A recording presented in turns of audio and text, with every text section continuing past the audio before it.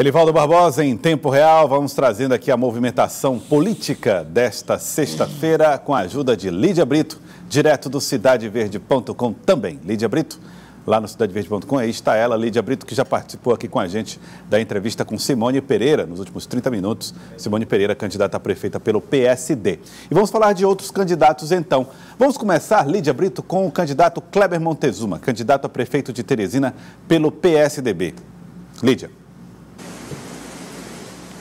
Boa tarde mais uma vez. Joelso Kleber Montezuma, ele tem reagido às críticas dos adversários com relação à falta de diálogo entre a Prefeitura de Teresina e o governo do Estado. Hoje nós conversamos com o candidato do PSDB, que afirma que uma gestão, uma possível é, gestão, dará continuidade a esse modelo tucano e, segundo ele, vai ser um governo, uma gestão de diálogo. Vamos acompanhar.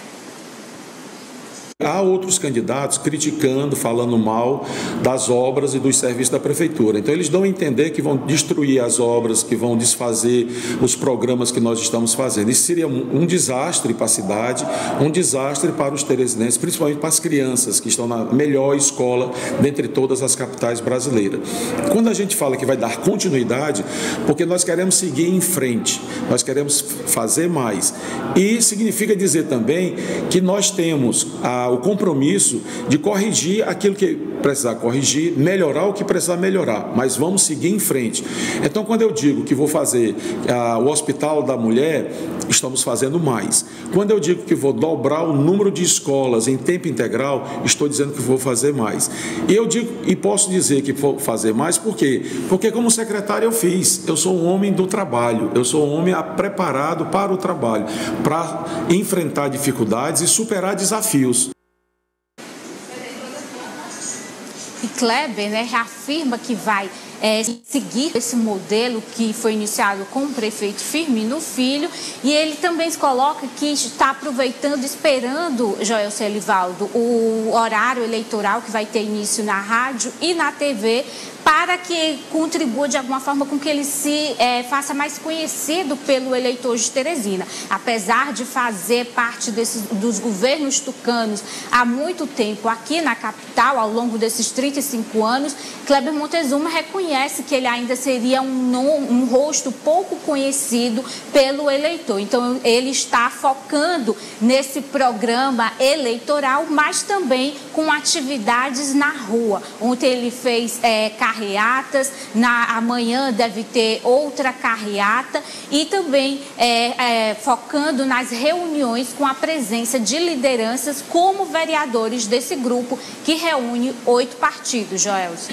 Exato, Lídia Brito, portanto, e a fala do, de Cláudio Montezuma foi mais do tom propositivo, né? É, correto. Ele tem adotado essa forma de abordar temas como educação, infraestrutura, é, e também desenvolvimento até mesmo da zona rural de Teresina, com propostas, com um plano de governo que foi elaborado e já registrado na Justiça Eleitoral. Agora, realmente, esse debate aí de, de, da visibilidade, né, é uma visibilidade como candidato, né, porque o, Kleber, o, candidato Kleber Montezuma ele não é assim desconhecido dos teresinenses, ele foi secretário de uma, de uma pasta que é responsável por quase a metade da prefeitura. Né? Então, ele tem de certa forma, um conhecimento. Agora, é claro, como candidato, ele e os demais, os 12, né, Lídia, demais, eles foram muito prejudicados aí com a pandemia no primeiro semestre, que deu uma engessada, né, nas atividades, até o próprio lançamento, né, Lídia, você lembrando aí desse, dessa preocupação, o lançamento do Kleber para a candidatura de prefeito foi prejudicado duas vezes, né? Foi, 17 de março, depois 23 de março, e acabou não acontecendo. E acabou não acontecendo, né? Então, é correr contra o prejuízo, o atraso, não só ele, não só ele, como todos os 13 postulantes à Prefeitura de Teresina. Vamos falar de mais um deles, Elivaldo, o que representa a Unidade Popular, a UP, né, que é o candidato Pedro Laurentino, que hoje teve agenda também em Teresina. Com essa mesma preocupação da visibilidade à candidatura. Para isso, foi para a rua, instalou uma tribuna popular. Vamos acompanhar.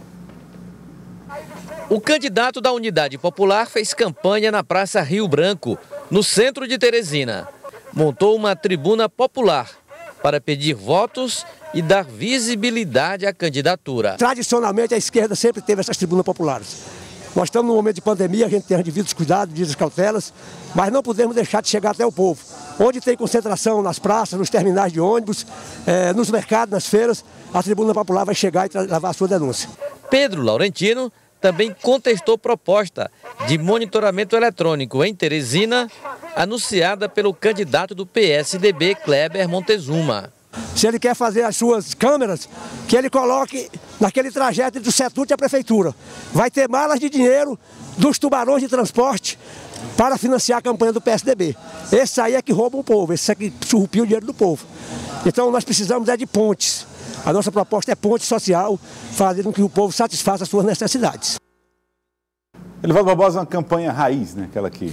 É, do megafone, né? Do megafone. Rapaz, fazia tempo que eu não vi um megafone, né? Ele com o megafone aqui, a tiracolo, o som aqui, fazendo o discurso com os componentes da chapa proporcional. No campo proporcional, o, a unidade popular tem uma candidatura coletiva. É um grupo que se forma e representado por, pelos integrantes e vai concorrer aí a um mandato na Câmara Municipal. Elivaldo Barbosa e Lídia Brito, quem não teve a possibilidade de ter contato com a população nesses últimos dias foi o candidato Fábio Abreu. Fábio Abreu, candidato a prefeito de Teresina pelo PL, ex-secretário de Segurança e deputado federal, atualmente deputado federal. Fábio Abreu é, está afastado por conta da da, da, das suspeitas né, da Covid-19. Ele está mantendo a prudência, o distanciamento social, mas tem falado a respeito de algumas questões propositivas e também respondido a alguns ataques que tem sofrido. Vamos ouvir Fábio Abreu. Eu estou bem, estou tranquilo, uh, isolamento né, preventivo. Hoje, sexta-feira, sai o resultado, um dos resultados, o outro sai no domingo. Mas o resultado de hoje já é preciso, poderei afirmar qual é realmente a situação.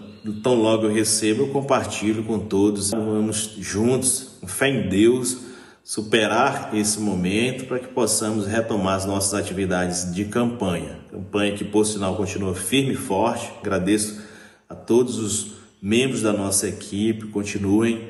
Nossa vice está aí nos representando e vamos à luta.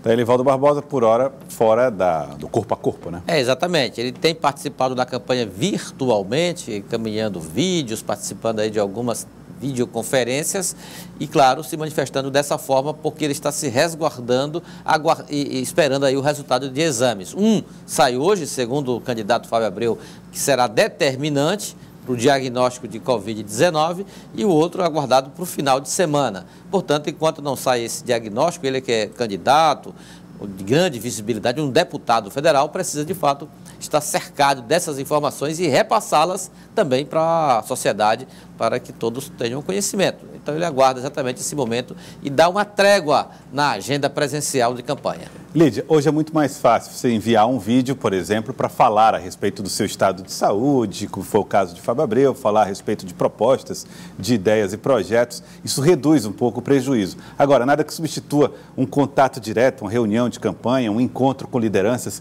Ah, ah, são, para alguém que eventualmente precisa se afastar por tanto tempo, são 15 dias de prejuízo, né?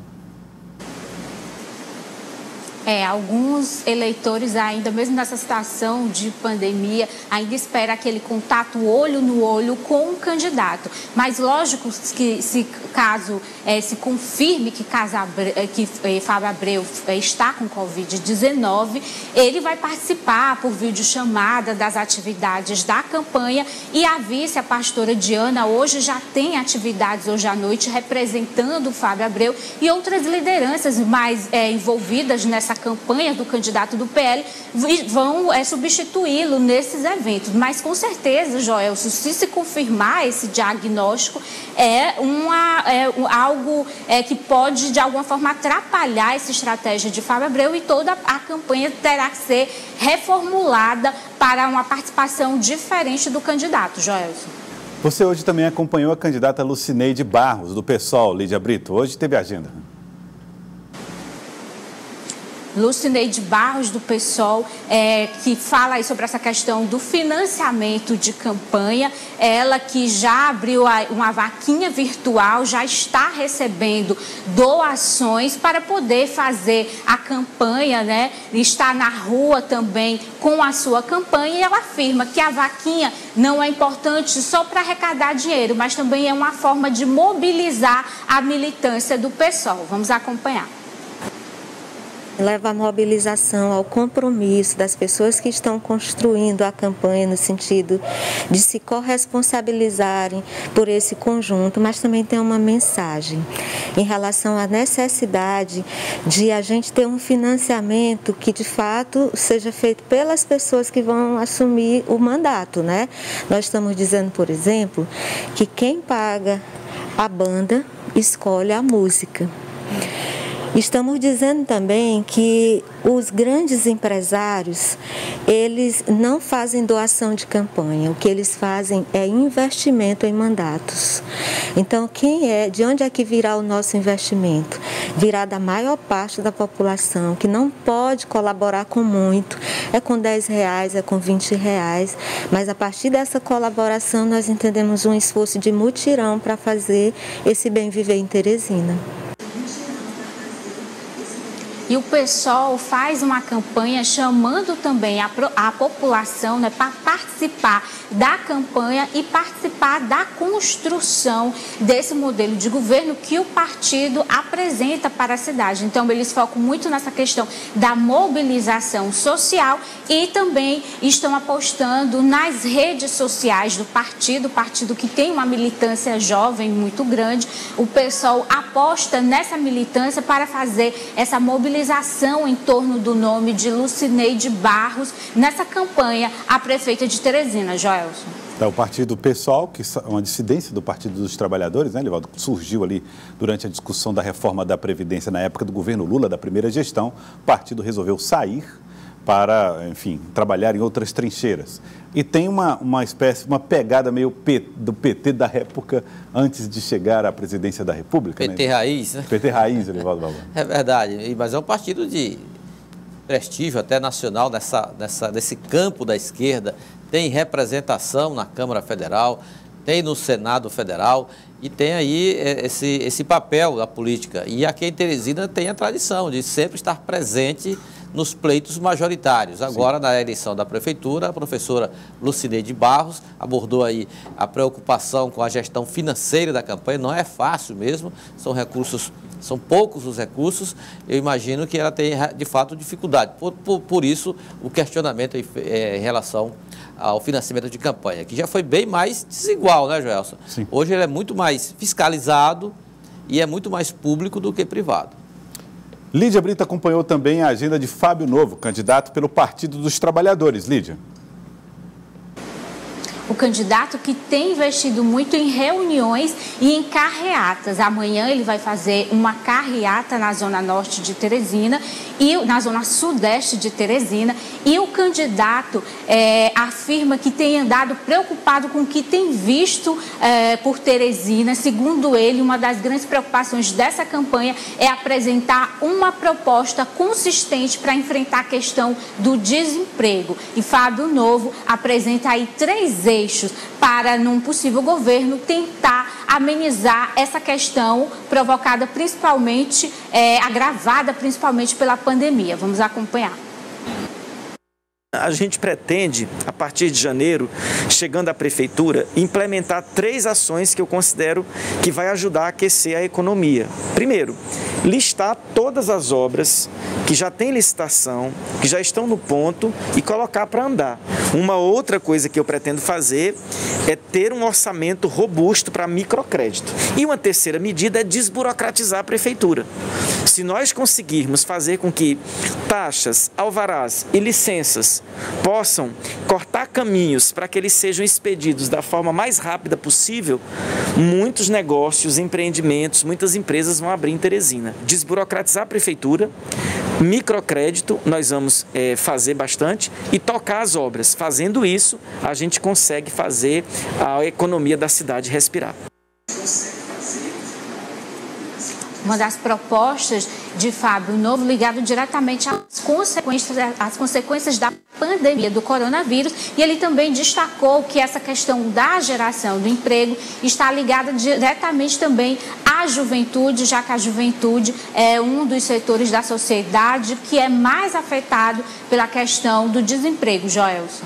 É ele que está tra trazendo esse debate, esse assunto ao debate sempre que pode, Fábio Novo, é, e também adotando uma linha da proposição, né, Erivaldo, nas falas que tem. Correto. Esse que será o grande desafio para o próximo gestor ou gestora de Teresina a partir de janeiro de 2021. Exatamente encarar ações voltadas exatamente para o estímulo ao desenvolvimento da economia, ao empreendedorismo. Aí você pode pensar, não, mas a prefeitura é poder público, como é que vai se meter na iniciativa privada? Sim, mas ela tem que criar caminhos, mecanismos para induzir a retomada é, do desenvolvimento da economia. São políticas públicas. Por isso, todos os candidatos estão aí, às, voltas, elaborando os seus planos de governo, propostas também voltadas para essa área. Porque na educação, na saúde, na segurança, mesmo na segurança, tem aí já uma certa estrutura já de ação é, da Prefeitura de Teresina. Agora, com relação à geração de emprego, renda, dinamismo econômico, essa estará na ordem do dia do, do próximo gestor.